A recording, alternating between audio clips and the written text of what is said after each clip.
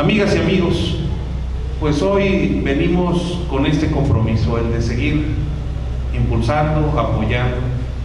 todas y cada una de las acciones que se están llevando a cabo a través del Instituto Veracruzano y del Instituto Municipal. Realmente es para nosotros un, gran honor, estamos aprendiendo mucho,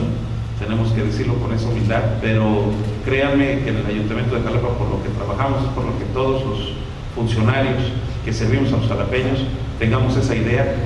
lo hagamos con esa mística, seguir aprendiendo, seguir trabajando, porque cada vez la equidad de género sea una realidad y en eso está nuestro gran compromiso, que la sociedad necesita fortalecerse. Y cuando trabajamos por equidad de género, pues quien gana no son las mujeres, quien gana somos todos. Y en ese sentido, con ese pensamiento, creo que estamos todos involucrados y comprometidos a seguir impulsando estas políticas públicas